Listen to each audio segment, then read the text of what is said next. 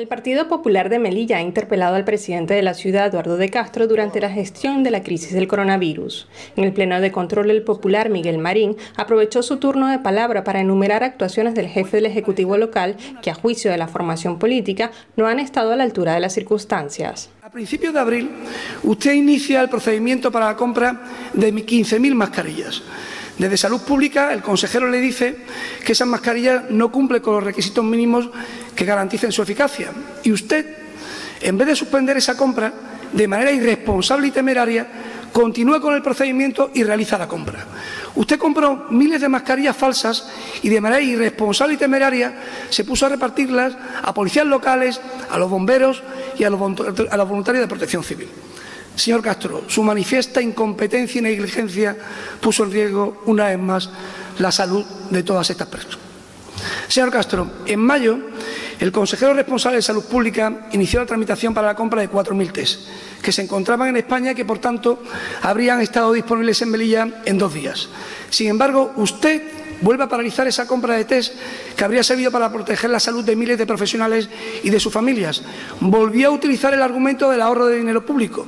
Señor Castro, pretendió ahorrarse 10.000, 12.000 euros a costa de poner en riesgo la salud de los melienses y a la vez estaba firmando el gasto de 3 millones y medio de euros para la gestión de un nuevo centro de menores extranjeros, más 1.600.000 euros en módulos para esos menores. Es decir, se ahorra 12.000 euros en detrimento de la salud de los melienses y se gasta innecesariamente más de 5 millones de euros en menores extranjeros. Además, lanzó otra acusación referente a la videoconferencia de presidentes. Señor Castro, en la conferencia de presidentes autonómicos, mientras todos los presidentes planteaban cuestiones serias que afectaban a sus comunidades autónomas, a usted no se le ocurre otra cosa que decirle al presidente del Gobierno de España que en Melilla hay un triunvirato que está contra usted y que le está dificultando su trabajo.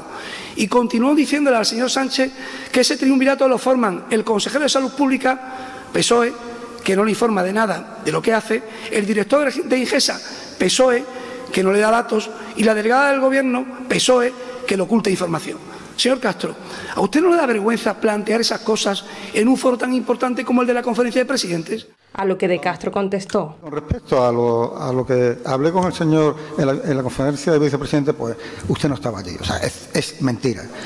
No estaban todos los presidentes y no se dijo eso. Estaban todos, pero no se dijo eso. Bueno, el 14, mire, el 14 de marzo salió, no sé si se acuerda, el estado de alarma, el Real Decreto que lo regula, que, eh, bueno, era una excepcionalidad para eh, afrontar la pandemia del COVID-19.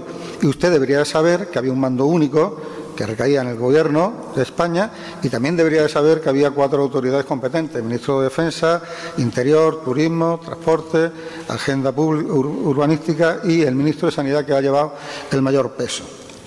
Evidentemente, este Gobierno ha actuado con las indicaciones de esas autoridades que han trasladado de forma eh, coordinada a las distintas comunidades autónomas de la ciudad de Ceuta y Melilla. En referencia a la gestión de la crisis, De Castro hizo mención al trabajo de todos los miembros del Gobierno. Si me siento satisfecho por el trabajo, pues sí. El trabajo de mi gobierno durante esta crisis ha conseguido muchas respuestas positivas para Melilla. Le voy a poner algunos ejemplos.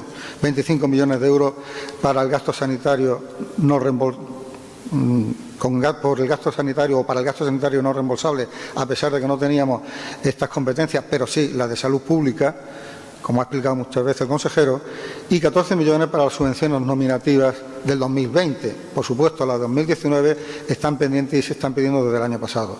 También recibimos tres eh, un, millón y medio de euros del Fondo Social Extraordinario. Conseguimos que viniera el buque Galicia. Ya le dije que yo no era el almirante, que el venir y el irse dependía de la ministra, no de mí, pero usted se ve que no se entera.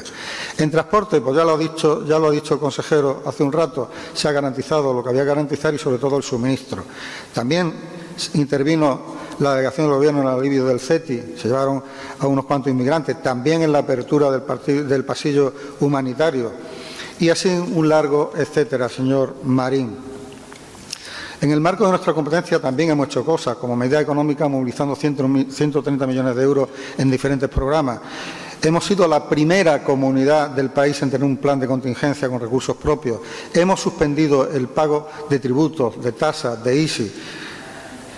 Hemos habilitado ayudas para la gente que necesitaba, ayudas para el agua, para la luz, para el gas. Hemos ayudado al alquiler familiar y hemos hecho moratorias de la hipoteca.